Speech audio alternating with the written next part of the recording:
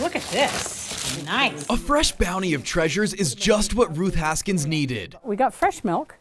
Today's the 13th, so we're good. Potatoes, carrots, and canned goods help restock the Duxbury Elf food shelf. It's tucked away in a local church like many small town pantries. So now pretty much what you see is leftovers. This USDA donation helps them get by after the busy holiday season is over. Haskins says January through April can be a tough time to stay afloat. We don't have the donations, we don't have the food we'd like to have.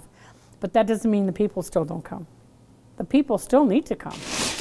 Other groups need more helping hands. Burlington's Low Barrier Shelter encourages volunteers to bring in meals and help serve them to folks who need a place to stay. I think sometimes people are even surprised that they make a friend along the way. It's often at capacity each night during the winter.